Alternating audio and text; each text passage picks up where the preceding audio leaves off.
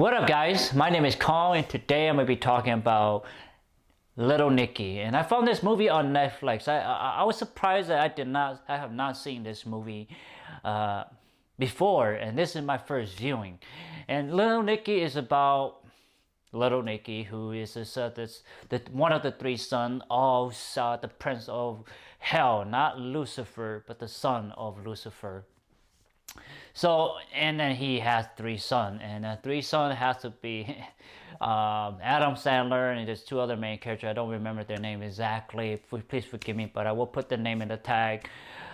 Uh, uh, that's what the story starts. Uh, these two brothers, they want to rule hell, and they can't because their father won't give up their the throne. So they decide to, you know, go up on Earth and rule Earth at their own hell. as scuff, as interesting as that is, this movie let me just get to the pros in this movie. I love Adam Sandler's acting in this movie. He's so uh, uh, quirky. He's so in in character. You can tell he's in characters. He's funny, and even the characters around him are funny. The dog is funny. The two dudes, the bro dudes, are funny. Um, he's exhibit Little Nicky so well. It's probably his. I would say up there with Happy Gilmore, let's just say. Happy Gilmore, and there's some other good ones too. Uh, just can't think of them right now, but it is good. What else? Uh, I like the story of the premises. It's interesting. You know, the son of this, uh, Lucifer's son coming up here to save himself. It's interesting. It's really unique. You don't see this kind of story anymore. So it is good. What else did I like? I like the the the the the hilarity of the movie. It it knows it's not taking itself seriously, but it is trying to tell you a story, and I like that. It's being lighthearted, but yet still be uh, a good story too. What else? Uh, I like the the the the, the hilarity. It, it sort of made fun of society. You you you see their messages in this movie. That's why it's so well. To me, it's well perceived to me. It's good. It really it talks about certain topics and and you have to watch it to really understand what I'm talking about, guys. What else did I really like? I just like the whole brother fight against brother is very typical. Uh, one love for his father and the other don't really care. You get to see here. There's so much content. It's it's such a bizarre, quirky, weird movie that came out in the early 2000s. I think I believe it came in 2000 and I did.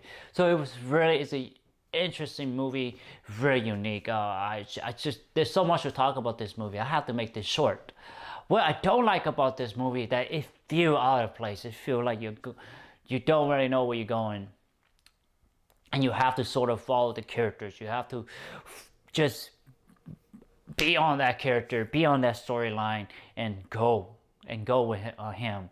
So that's what make, that's the only real downfall of this movie that it is hard to follow because it go places, it go hell. He go hell a couple of times and he come back, and you it's just really break the momentum, but it it doesn't you know detach you from the movie itself because the movie is so well done. The acting, the the story is it makes sense if you look at from how little Nick is, looking at.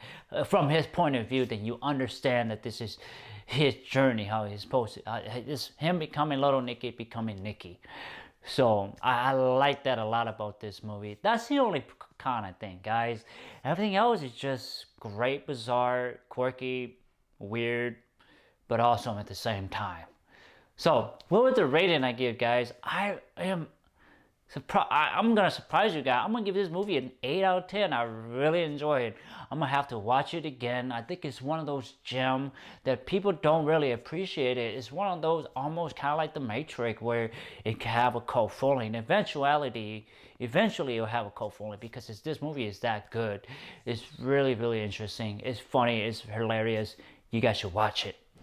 So the movie of this movie review I'm doing it right now is Little Nicky, as I said at the beginning. Go check it out, guys. It's on Netflix. It's free. You gotta check it out. It's good. All right. So anyway, guys, please like, thumbs up, share, subscribe, and browse to my YouTube channel. I have a lot of content for you guys to check out. Please do so, and you will you know, I'm sure you will like my recommendation, my review. Anyway, take care. Thank you and have a good one. Bye bye.